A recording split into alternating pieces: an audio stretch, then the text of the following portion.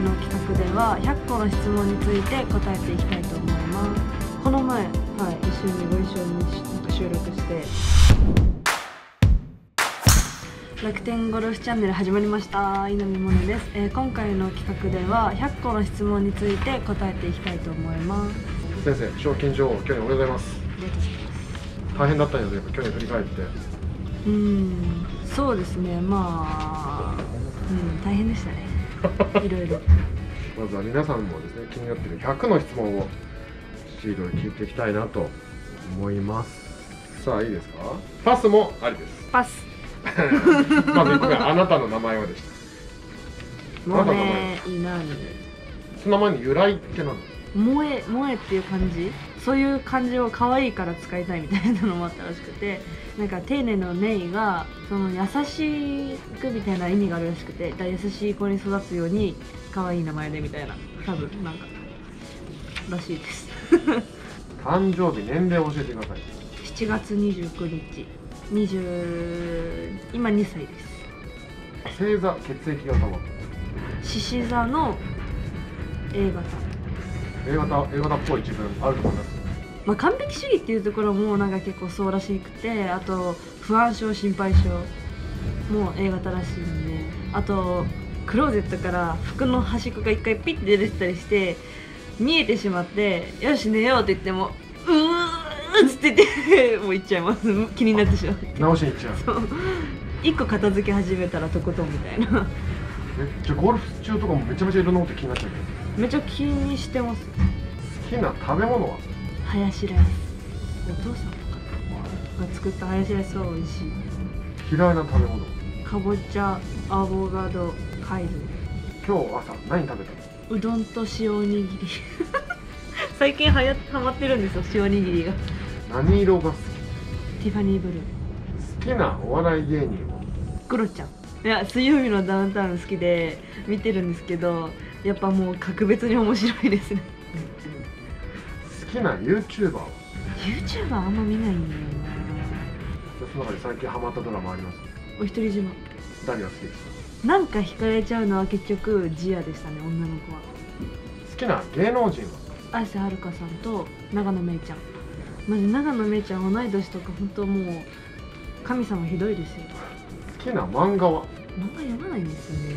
でも「鬼滅」は読みました全巻買って。好きなキャラいます？観音寺あの体になりたい。一番好きな映画は？ミッションインポッシブル。一番好きなアニメは？クレヨンしんちゃん。ドラえもんとクレヨンしんちゃん必ず見てます。一番好きな乗り物は？特になんか得意科目何でし体育。たやっぱ運動神経はちっちゃいから良かったうん。そこそここなしてましたしうん体育と音楽同じぐらいか。な、あ音楽？もうん。苦手な科目は？理科。好きな音楽？ミレの「インサイド U」はめっちゃ聴いてます。好きなブランドは？あティファニーかな。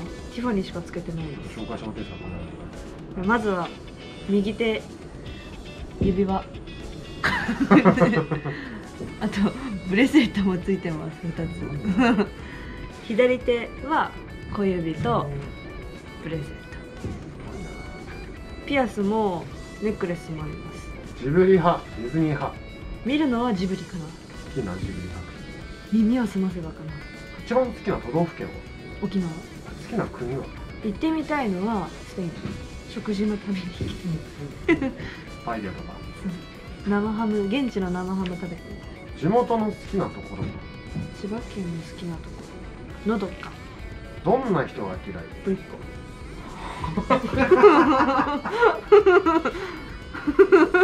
嫌いそうって思いましたよね今絶対。いやぽさが出すぎててやばい、ね、人生で一番印象深かった夢ってあります？でもずっと美容師になりたいって言ってましたちっちゃい頃。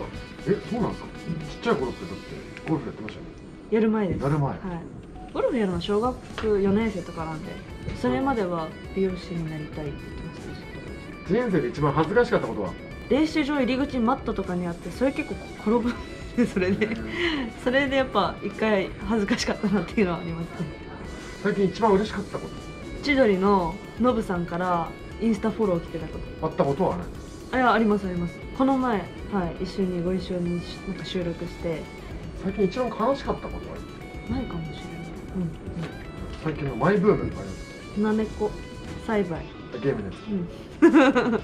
最近悩みあります？顔にニキビ3つできたんです最近買ってよかったもの。ないかもしれない。家族構成教えてください。私一人っ子なんでお父さんお母さん私。どんな育て方をしてました？スパルタだったり。スパルタです。お父さんお母さお父さん。んお父さんどんな人？好きなところはう？んなんだかんだ優しい。甘い。顔 お母さんはどんな人明るい。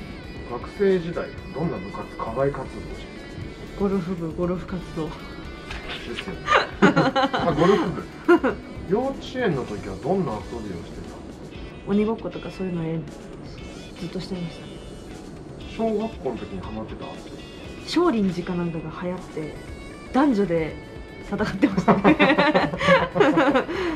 中学校で流行ってたノリなんかあります？中学校の時の思い出基本あのもうやっぱ小学校から一緒にいる幼なじみとずっと一緒だったんで、まあ、その子との基本ノリって感じですかねずーっと。高校で流行ってたノリの季節これも同じ感じなんです。いや今の大学行ってるウェルネスの高校でまあその交互連とかそういう団体戦みたいなのがあってそういうところとかでは一人あの小西平優雅さんって先輩がいて今もう男子でもすごいプロで有名なんですけどその子が大体いつも「モンネちゃんモンネちゃん」ってずっと呼んでくるんですよ。なんはい何ですかって言ったら「なんすか?」って言ってくるんですよ。その呼んで「なんすか?」っていうのがその高校では流行ってました どうでもいいっていう小学校の時によく行ったお店とかありますイヤリングとか髪の毛のゴムとかすごい可愛いお店があってそこは親友たちとみんなで行ってました。中学校の時によく行ったお店？ないですかね。中学はもうほとんど、うん、ゴルフしかしてないんで。高校の時によく行ったお店ありますか？同じです。ゴルフしかやってない。小さい頃の夢は？美容師学生時代一番思い出がある先生っていました？小学校の時の稲川先生。なんで覚えてるちょっとファンキーなんですファンキーっていうかこうビーバップっぽいんですよ。か頭髪型が。結構授業とかも面白くてみんながすごい飽きてやる気ないとなんか楽しいことを考えてくれたりとか俺が好きな曲なんだよねって言ってブルーハーツの「青空」あのあれを紙に歌詞でみんなに配って覚えさせて自分がギターで弾いてみんなで熱唱するみたいな。ファンキーですね。はい。結構そういう楽しかった思い出があります。クラスではどんな立ち位置でした？ムードメーカーだとまあどちら小学校の時とかそういう感じですかね、えー最後にこのチャンネルのスポンサーの楽天ゴーラの紹介をさせてください。日本最大級のゴルフ場予約サービスの楽天ゴーラ。普通のゴルフ予約から1人予約コンペ予約まで幅広い予約プランが充実して、えーいろいろなキャンペーンも実践しているのでぜひチェックしてみてください。運転するの好きです。好きです。何をしている時が自分が一番生き生きし歌ってる時とか